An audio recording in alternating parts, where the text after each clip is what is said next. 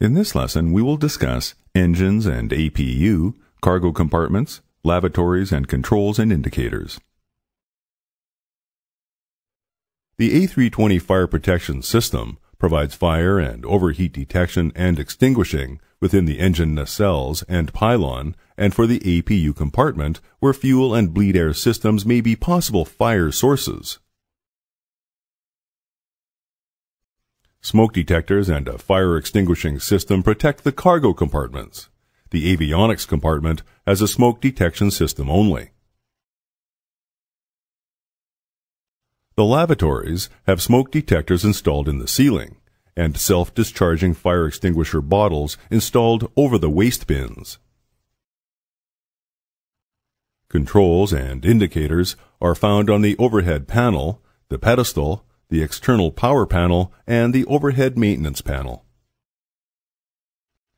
The engine and APU firelight push-button switches, agent discharge push buttons, and test push buttons are located on the overhead fire panel. On the engine panel, next to the engine master switches, are the firelights. They identify which engine is to be shut down during the engine fire shutdown procedure.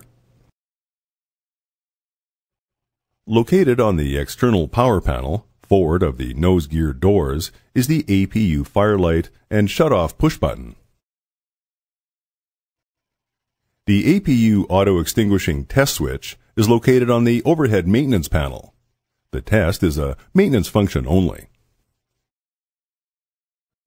When smoke is detected in the avionics compartment, the smoke light illuminates on the generator 1 line push button switch located on the emergency electrical power panel.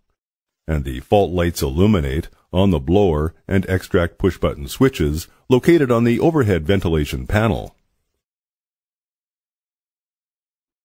Cargo smoke and discharge lights, guarded discharge push button switches, and the test push button are located on the cargo smoke panel, located on the right side of the overhead panel.